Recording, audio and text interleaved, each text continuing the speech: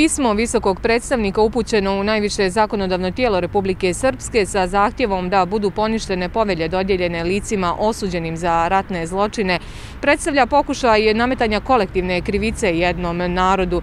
E, rekao je to predsjednik entitetskog parlamenta Nedeljko Čubrilović uz napomenu da o poveljama e, je raspravljalo ad hoc tijelo, a ne Narodna skupština. Oglasio se i lider najveće parlamentarne stranke u Republici Srpskoj i predsjedavajući predsjedništva Bosne i Hercegovine, Milorad Dodik smatra neprihvatljivim prijetnje Valentina Incka.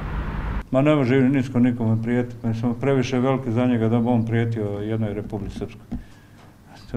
Čovjek je očigledno u jednom zanosu u kome misli da može nešto da e, nametne, da uradi. Jedna od narednih tačaka dnevnog reda Narodne skupštine Republike Srpske biće i zahtjev poslanika SNSD-a da visoki predstavnik podnese izvještaj o implementaciji civilnog dijela mirovnog sporazuma.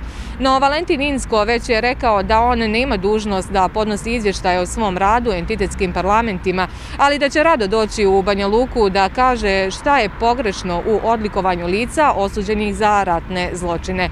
Ukoliko ne bude udovoljeno njegovom zahtjevu, najavljuje zakon zakon o zabrani negiranja genocida.